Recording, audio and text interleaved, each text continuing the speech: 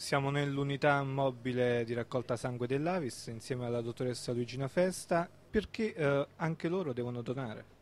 Ma eh, in virtù dell'integrazione, giusta integrazione etnica, eh, poiché questa comunità indiana è comunque residente a Fondi già da anni, alcuni sono residenti già da sei anni, eh, è giusto che anche loro, come eh, residenti del, della nostra Italia, della Regione Lazio, partecipano a questi eventi di donazione, anche perché questa comunità Sing eh, è molto predisposta a queste cose.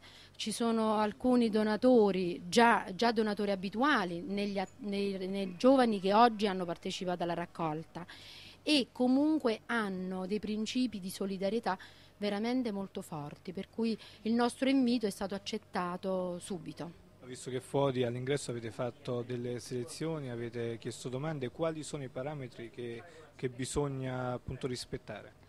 Ma essendo non cittadini italiani la selezione è un po' più dura, eh, secondo le linee guida del nostro direttore, nostro primario del City di Latina, il dottore Guitani, è chiaro che devono avere almeno una residenza in Italia di tre anni e eh, essere iscritti al so nostro sistema sanitario nazionale, avere la scelta medica e avere anche un'abitazione qui, cioè eh, in virtù del, delle situazioni in cui loro provenienti da paesi non europei potrebbero essere portatori di patologie infettive eh, che non ne sono a conoscenza e quindi per noi la sicurezza della residenza qui in Italia ecco, da più di tre anni ci pone un po' più al sicuro eh, di eventuali esclusioni di sacche non idonee.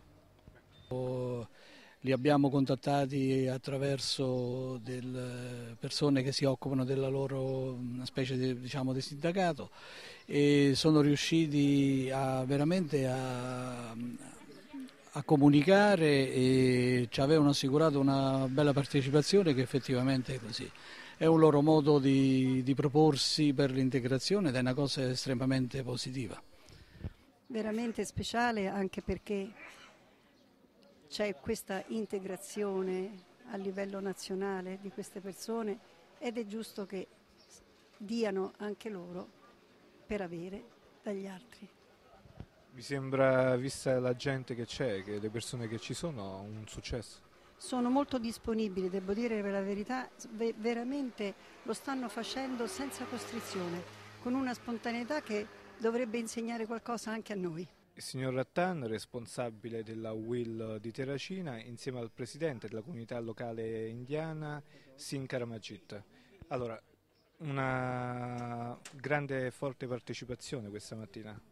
Certo ci abbiamo quasi, siamo al 20-25 persone, che sono, stamattina anche sono andati al lavoro, però volevano fare questa donazione del sangue perché per noi, per integrare nella società fondana, diciamo, è una cosa mm, molto importante, a parte che come oggi parliamo di immigrazione, è una cosa che gente ancora non riescono Uh, pensare che un immigrato può essere anche una parte della società, che si può dare anche donando sangue, è un gesto da, verso, da parte della comunità indiana per uh, Città di Fondi che noi anche abbiamo le nostre, mh, mm, da parte nostra, di fare tutto quello che possiamo fare per la società fondana, di essere eh, stranieri per essere integrati in questa società.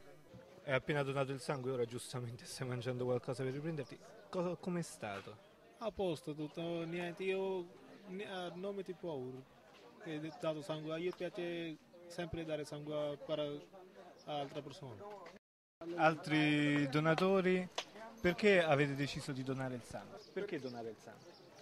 No, però persone, altre persone come male, io, io pure aiutare. Solo aiutare, basta.